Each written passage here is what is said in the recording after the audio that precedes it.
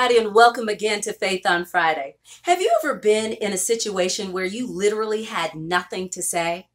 Albert Einstein, the famed physicist, was in the exact same situation. He was invited to a banquet in his honor to be the keynote speaker.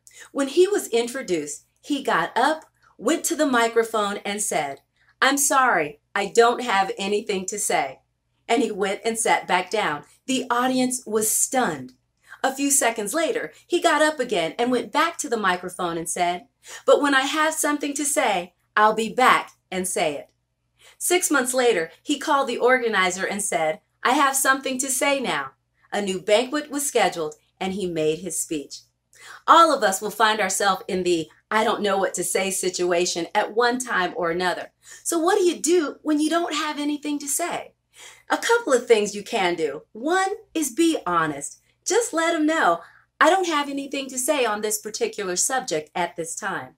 Or, better yet, don't say anything. Usually, when you're quiet enough in a situation, something will come to you. A couple of things you don't want to do in that situation. One, don't make it up. When you start making up things in a situation, you will be surprised at the number of embellishments to the truth will start falling out of your mouth. And you want to avoid that situation at all costs. You also don't want to be sarcastic, rude, or arrogant just because you don't have anything to say. We're all going to find ourselves in the I don't have anything to say situation at one time or another, either at work, in a relationship, or just in general. So the best practice may be what Albert Einstein did. I don't have anything to say, but when I do, I'll be back to say it. Thank you everybody for watching and thank you so much for sharing the videos.